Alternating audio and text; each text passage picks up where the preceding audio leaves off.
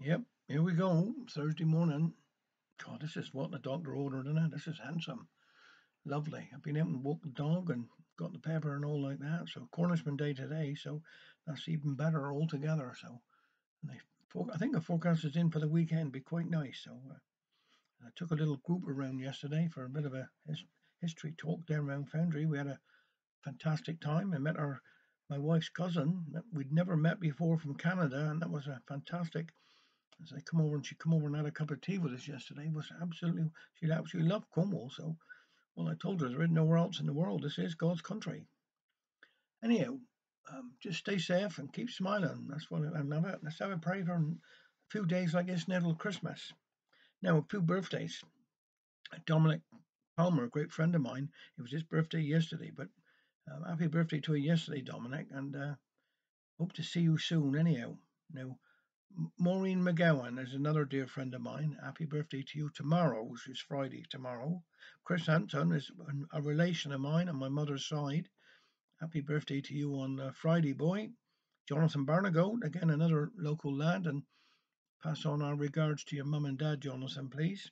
And then Mark Sampson, they're all tomorrow, all Friday, so it can be quite a busy day for all these people. And then our daughter there, Karen, Karen Jose, um, it's her birthday on Sunday, so go on out and treat yourself. Go and buy something, Karen. Have a bit of a have a lovely day of anyhow. All right.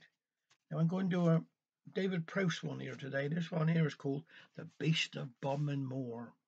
Few things in life are guaranteed, for all its vast complexions, though death and taxes, so they say, are notable exceptions.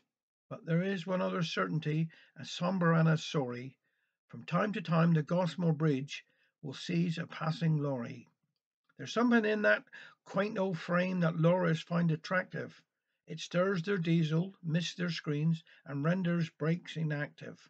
Without a care, they sally forth like flies towards a spider, and find themselves engaged, then grasped and swallowed up inside her.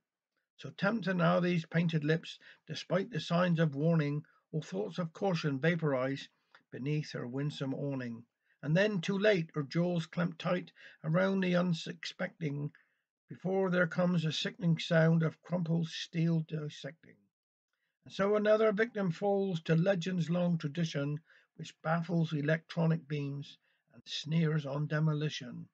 Like highwaymen of distant times who catalogue their murders, the old bridge scrapes another notch upon its ancient girders.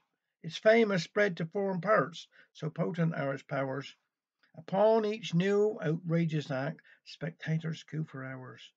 Behind their radiators' steam, they gaze in stricken wonder at that which never seems to move, yet tears our trucks asunder. But word of this phenomenon at last would reach the city. The cabinet at once convened and set up a committee. It members met to cog- cogitate on countless lurid stories, then threw their hands up in the air and blamed it on the Tories. But as reports kept flooding in of ambush and destruction, they gathered round an expert team conversant with abduction. So many were there keen to see the challenge such a quarry to save expense and train delays. They sent them on a lorry. The message on the mobile phone was dogged with incoherence, a strangled, rambling mix of words and static interfe- interference. It said, I think we found the bridge, and at last the engine's running, and we would still have had a, a roof, but the darn thing saw us coming. Have a nice weekend. Take care.